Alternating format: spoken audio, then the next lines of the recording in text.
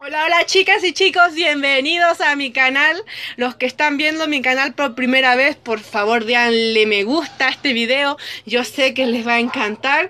Y bueno, para los que no me conocen, mi nombre es Michelle Galvez, tengo 22 años y estoy estudiando prevención de riesgos.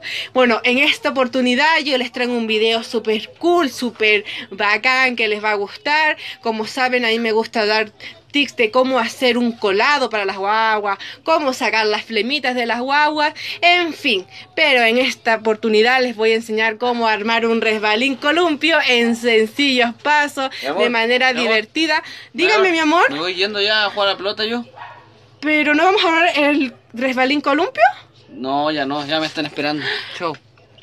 Bueno, chiquillas, como saben ustedes, las mujeres, las que me están viendo, saben que las mujeres podemos todos y yo voy a demostrar cómo podemos armar un resbalín columpio rapidísimo. Así que espérenme en este video, sigan viendo mi video y nos encontramos armándolo. Hola chicas, me cambié como ven ustedes aquí para armar este resbalín columpio que igual hay que tener una ropa más ligera para armar, igual es un poco latoso.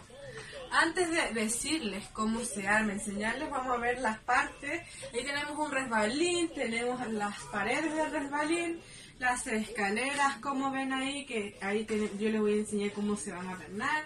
Ahí tenemos el columpio, tenemos las tuercas y los pisadores. Es fácil, es rápido y yo se lo voy a enseñar súper bueno, aquí les va la primera parte. Primero que todo yo les aconsejo que se amarren el pelito. Para, estar como más liviano, porque el pelo igual no, no, puede tapar la visión.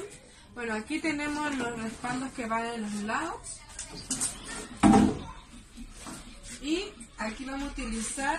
Esto sí, tiene que ir mirando para adelante. Siempre tiene que estar a los mismos lados. Ustedes ahí ven. Y aquí tenemos las escaleras. Las escaleras van así. Como ven aquí. Entonces cuando ustedes lo tengan ahí, van con el perno, el perno, van a pernar. Ahora estamos listos con la escalera. No saques, Ya miren, ahora tenemos listo aquí las barandas. Tenemos que atornillar.